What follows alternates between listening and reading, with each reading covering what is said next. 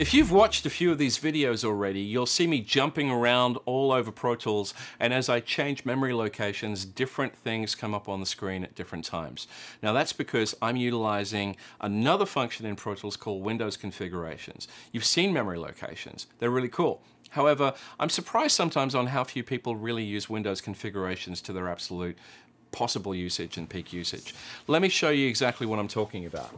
And we've done some tweaking here in Pro Tools 10 to make them even better. So let me open up my configurations and you'll see here's my Windows configuration list and all my Windows configurations, okay?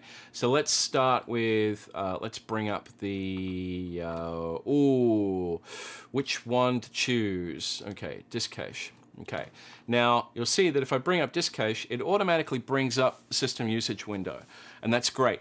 And it remembers everything that I wanted on the screen at that time and roughly where I wanted things to be on the screen. However, what we've done to make that even better is we've actually added in the ability to actually link memory locations and Windows configurations together. So let's right click that and you'll see that I've actually got Windows configurations and I've linked it to the quick overview. So now both of those things will work in harmony. Now, I hear you ask through the internet, how is that beneficial to me, Mr. Guy with the funny accent? Let me show you.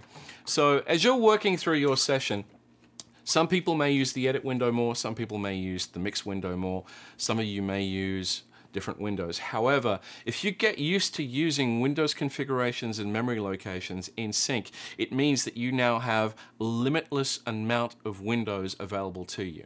So, say for example that you're doing the drums. So you want to work on the drums, you want to work on your VIs. You've linked a Windows configuration and a memory location, so let's bring up that one there. It comes up with all the plugin areas there in view, so you can bring them up. Okay, so once you've done that, okay, that's fine. I don't need that anymore. Now I want to go and I want to work on my vocals. So now it's going to bring up that. We're on a smaller screen here, so it doesn't quite fit where they were on, on my system in Miami. Um, let's go and let's work on recording, processing a bass.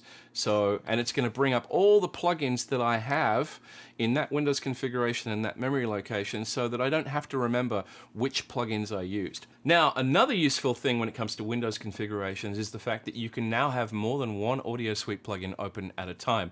Now, that means that if you're using Audio Suite, especially in post and a lot of processing work, if you're just comping and doing things in music, Audio Suite plugins come in really handy because it means that you can process those clips, get them all done without having constant plugins on your timeline. So I can add in a Windows configuration to bring up just Audio Suite plugins if I want to. So let's bring up this one here.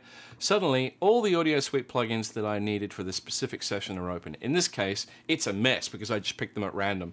But having that ability to have Audio Suite plugins, multiple versions of them open, in a Windows configuration linked with a memory location is very, very useful. So now, guys, you've got a drum window, you've got a vocal comping window, you've got effects and delay windows. You've got as many windows as you want. So please, when you go into Pro Tools 10, I invite you to have a look at the Windows configurations and start messing with linking your Windows configurations with your memory locations.